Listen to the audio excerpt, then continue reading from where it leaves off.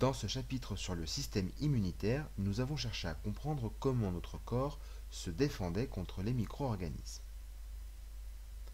Dans notre sang, nous pouvons trouver différents types de cellules. Celles qui sont le plus répandues sont les globules rouges ou hématies dont le rôle est de transporter les différents nutriments aux organes pour qu'ils fonctionnent. Il y a aussi les globules blancs appelés leucocytes parmi lesquels nous pouvons retrouver les phagocytes dont le noyau a une forme très caractéristique et les lymphocytes dont le noyau est bien rond et la taille très importante par rapport au reste de la cellule.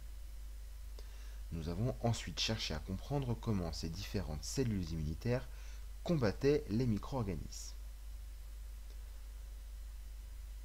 Lorsque nous sommes contaminés par un micro-organisme ou antigène, il va y avoir une première réaction sur les premiers jours qui est non spécifique et rapide.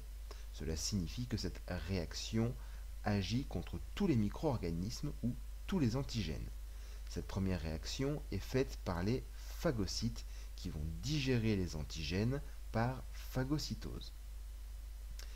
Si ce mécanisme n'est pas suffisant à éradiquer le micro-organisme ou l'antigène, d'autres cellules vont prendre le relais de façon plus lente et plus spécifique sur une période s'étalant de quelques jours à quelques semaines. Ce sont le rôle des lymphocytes. Nous avons d'une part les lymphocytes B qui vont agir contre les bactéries en fabriquant des anticorps qui vont permettre d'agglutiner les bactéries car la forme des anticorps est spécifique à la forme de l'antigène. Cela signifie que l'anticorps peut se fixer contre l'antigène et agglomérer les bactéries afin qu'elles soient éliminées par phagocytose.